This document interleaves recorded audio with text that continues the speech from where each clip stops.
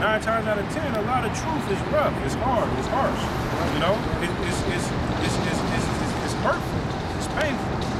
So therefore, you lie to a person to soften the blow, or or to, to, to, to make them not feel a blow at all. That's unfair. This is Isaiah chapter 28, verse 15. Because ye have said, We have made a covenant with death, and with hell are we at agreement. And that's and that's what a lot of Jake is saying right now. Okay? Uh, uh, subliminally, man. Because uh, I mean, I don't think there's too many Jakes out here, too many Jake out here that's in a line in allegiance with death. But when you when, when you when you say when when when the, when the man of the Lord tells you these things which you are worshiping are false gods, all right, and you out here saying I, I'm still gonna do it for the kids, okay? You you you are you are uh, uh, putting yourself in, a, in allegiance with death, man. When the overflowing scourge shall pass, scourge shall pass, it shall not come unto us. That's right. So so they're saying, all right, I agree with you, but I'm still gonna celebrate these holidays, and be, and but the Lord knows my heart, and I also agree that that that these nuclear missiles is coming, but they ain't gonna hurt me though, because the Lord knows my heart. Go ahead. For we have made lies our refuge, and under falsehood have we hid ourselves. because they have made lies their refuge. What, what is a chief lie that a lot of Jake likes to, likes to say, man? One, the Lord knows my heart, and I'm saved. Jake already, Jake already think they saved. They took a dip in some of that in some of that uh, sewage water in the, in the, in the in the back of the pulpit, and and, and and was almost drowned by the preacher for about two seconds. Come about it, come about smelling like some smelling like outside water all right, and feel like they have been saved, man. But that's that was a lie. That was that's a lie to to to to to, to our, chiefly our people. That by taking a taking a dip in this water, that you will be baptized and you will be saved. All right, and that's what and that's and that's their, and that's their shelter. That's what they run to. They like to hear those lies. I, I feel like you got a question. Uh, I'm trying to get this right. What I want to ask. So, are you saying being baptized? You know what I'm saying? Isn't a good thing or what? Well, baptized, being baptized is the best thing that that could possibly happen to a person. So let's, but, but- but what is baptized? Okay, first and foremost, that word baptized in the New Testament is the, is the word bapti- which means to be engulfed, to be submerged.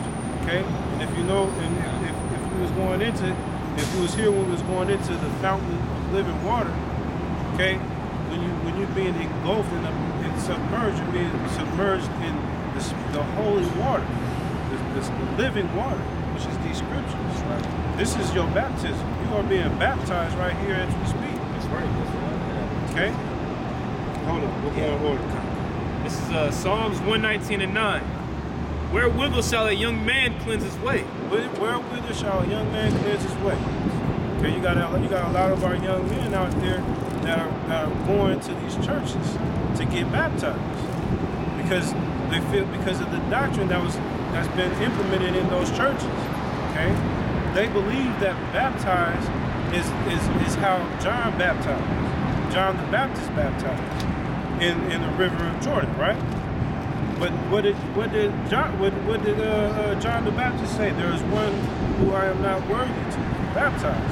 And after he is ba- loosely paraphrasing, after he has been baptized by by, by John, there will be no need for baptizing because everybody else is going to be baptized by fire, That's right. which is the word. That's right. Go ahead. Wherewithal shall a young man cleanse his way? By taking Exactly. So the question is where how how is a man supposed to clean his body? How is a man supposed to clean himself if he wants to be a man of the Lord, right? So the question that you're asking. Go ahead. by taking heed thereunto according to thy word. By taking heed according thereto by thy word. So by under, by listening to the words of Yahweh Shema Shai, which is these scriptures. So you're being baptized right now. Yeah, even um like when you go into church, I don't know if you've ever been back or any of y'all brothers ever been baptized in church where they literally dump you in the water. But I know me myself, when I came out that water, I smoked a blunt that night. You know what I'm saying? Now, reason why I went into that subject, because when you're baptized with this Holy Spirit or this word, you're being reborn as a child is reborn to come out of the water. You know what I'm saying? And you don't want to go back to the world because you know what's going to happen. You want to stay in these scriptures. You want to continue to learn. That's being baptized in this Holy Spirit. You have fear of the Heavenly Father that you don't want to go back to that stuff in the world. Back then in that water in the church, though, you was like, oh, cool, huh? And then you went back to doing whatever the heck you was doing. You know, but this is the true baptism like the brothers are going into. Well, another, point to that is, you know, just like the old saying, Rome wasn't built overnight. All right, so you, so even, even when you first came into the church, you was baptized. Even when you first came into the church, you was baptized, but you was still trying to get yourself from doing those things that you used to do. The whole, the, the, the fact of you getting this this truth is the baptism. You understand it. You not only you, you understanding it, getting the knowledge, wisdom, and understanding, but you living according to it. Okay, in, in truth and sincerity. Okay, that's the, the fullness of the baptism, man. That's right. Okay, because even even Yahweh Shai said, after it was when it was when Yahweh Shai was on the cross, he said that my baptism was complete. So you're gonna have to go through you're gonna have to go through the the, the, the chastisement and the refinement as well. Also a part of the baptism. Go. This is uh First Peter Slaki. This is This is First Peter chapter 3, verse 21. The like figure whereunto even baptism doth also now.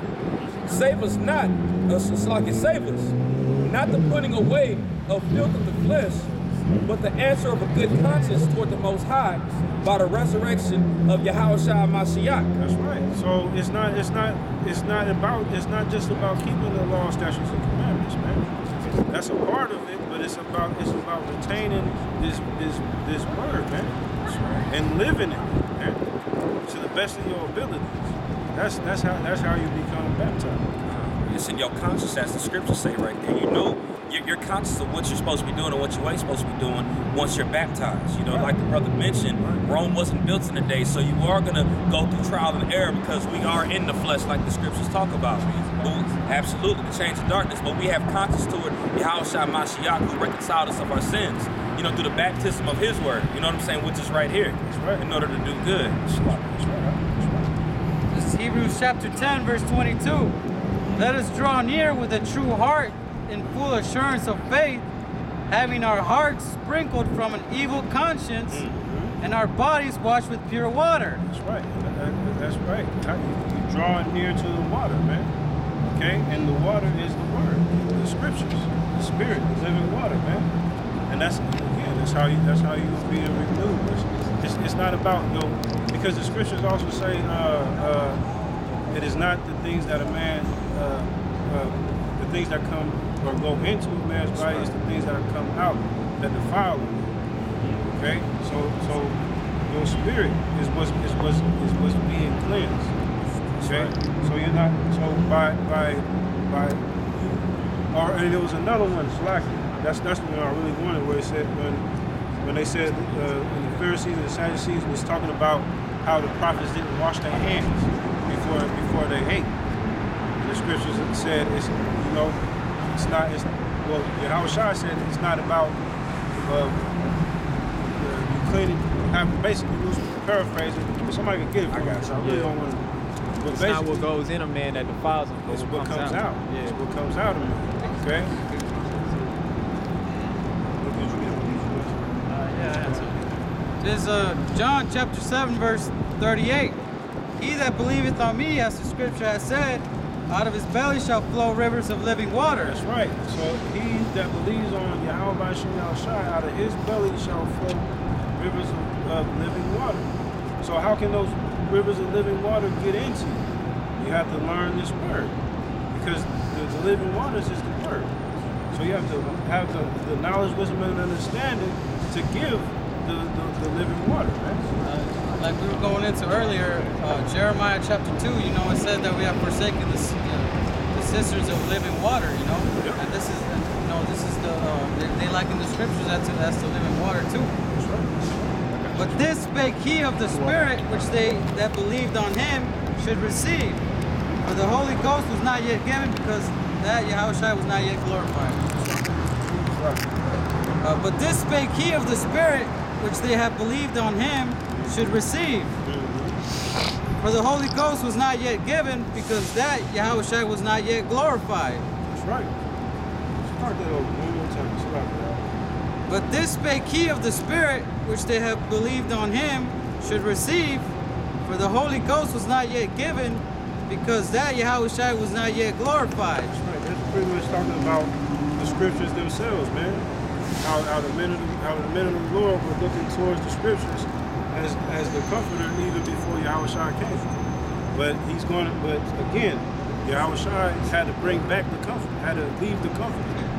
Okay? He, he if you if you notice the that Yahushua came in the volume of the book.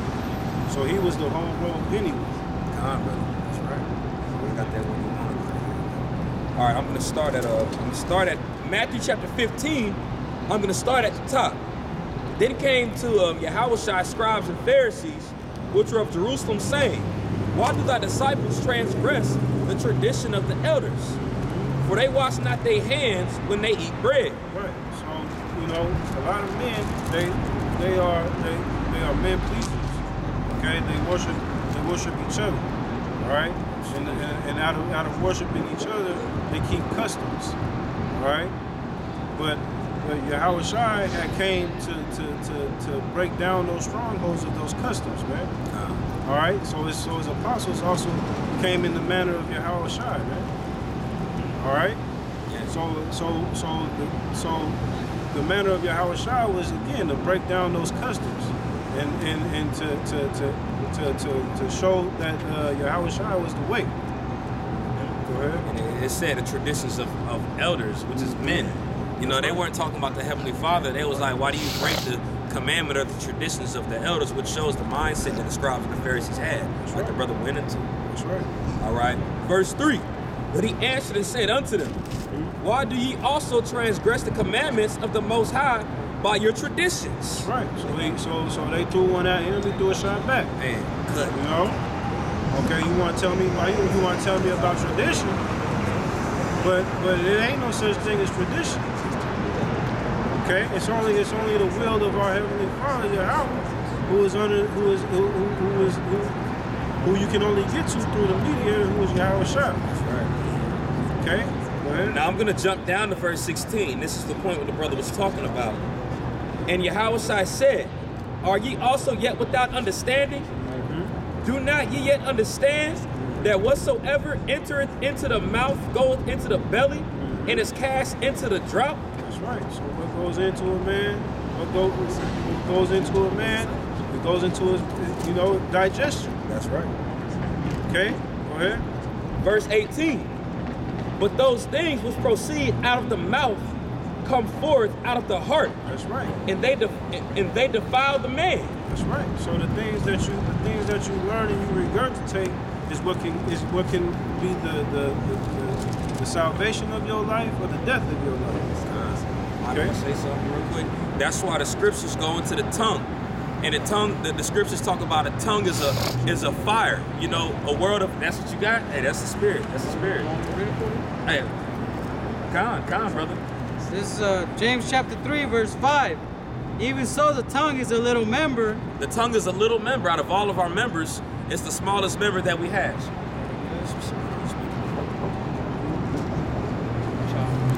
And boasted great things. Behold, how great a matter a little fire kindleth. Okay, start that from the top again, Shabbat. James chapter 3, verse 5. Even so, the tongue is a little member and boasted great things. That's right. The tongue, the tongue is a little member, but it boasteth great things, man. Okay. So out of your mouth is uh, think wars happen from from people's speech. That's right. Okay? Wrong wrong perceptions happen from people's speech. You get the, the right interpretation or the wrong interpretation. A person's knowledge comes from comes, comes from what a person says, man. That's right. Okay, that's where his story came from. Came from what he what he thought. He regurgitated the, the, the story from his point of view. Go. Behold how great a matter a little fire kindleth. Behold how great a, a, a matter gets when when when something something small is said, man. You know, something as small as that nigga wicked. That can go into a multitude of things. You know, without without without without even going into detail, you point you point a dude out and say you wicked. That can go that can go that can go that can go into a multitude of things. All right, because because it's because a person's words can be can be so simple yet so complex at the same time. And the tongue is a fire, a world of iniquity. And the tongue is a fire, a world of iniquity, man. It causes destruction, man. All right, especially especially to to two thirds of our people, to our people, period. All right, because because again, even pertaining to the scriptures, the scriptures is life. All right, but a little leaven leaveneth the whole lump. All right, you could have broke down the scriptures eloquently to a T, but then when it came to the book of Jude, you just totally fumbled. And now the whole doctrine has been perverted.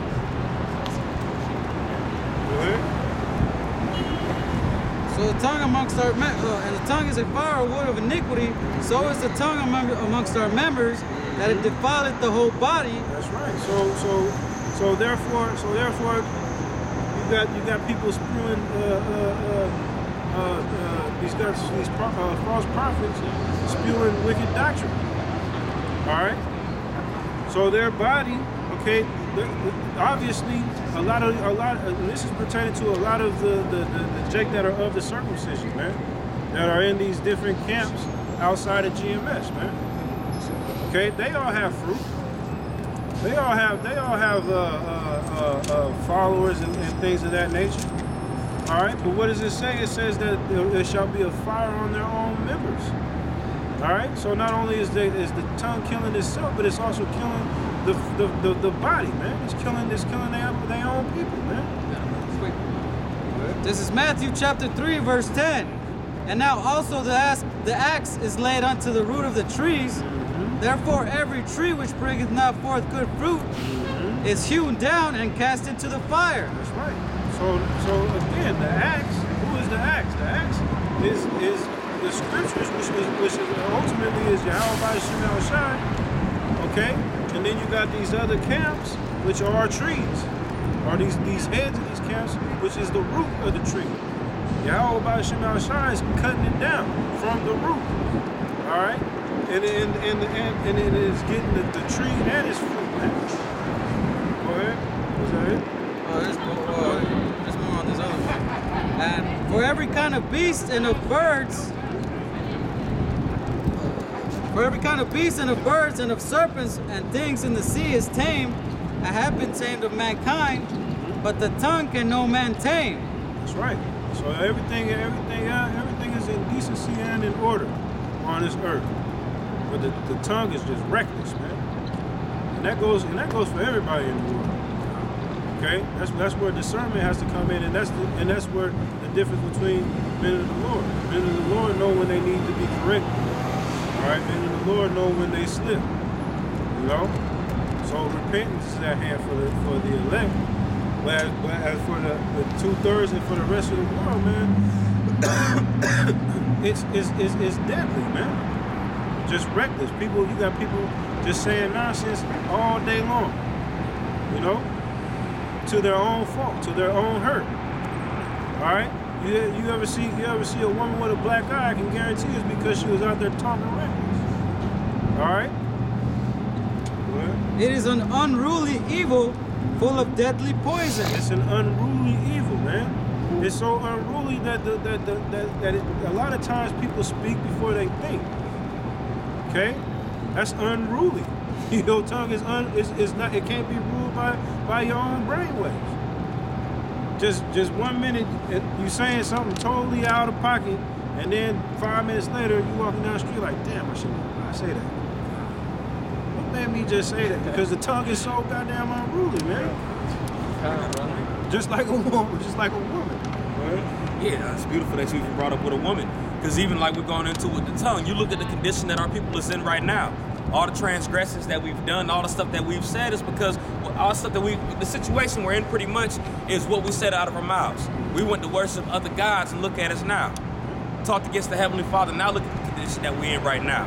That's why the Lord compares us as women too. Just like women run their mouth, that's what our nation did. Just like women run their mouth, went to different gods, complained about our God, complained about what Moses was doing, complained about everything holy, and now look at us. Just by a slip of the tongue.